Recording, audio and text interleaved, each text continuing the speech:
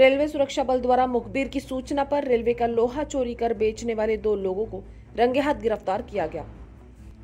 आरोपियों के नाम दीपक शाह मुरारी बेतवाल और इफ्तेकार अहमद, मुश्ताक अहमद बताए गए हैं।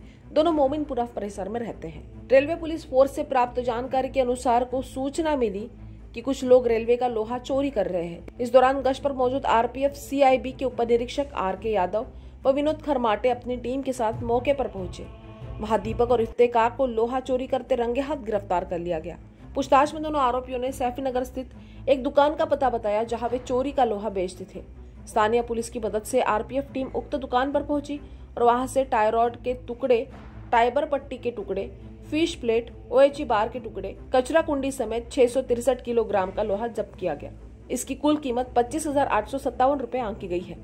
हालाँकि आरपीएफ ने वजनी कांटा और एक कटर मशीन समेत उनतीस हज़ार आठ सौ सत्तावन रुपए का माल जब्त किया। दुकान के संचालक सैफी नगर मोमिनपुरा निवासी अब्दुल वाहिद अब्दुल हमिद को गिरफ़्तार किया गया। मामले में दो आरोपी फरार हैं, उनकी तलाश जारी है। आरपीएफ ने रेलवे एक्ट के तहत मामला दर्ज किया।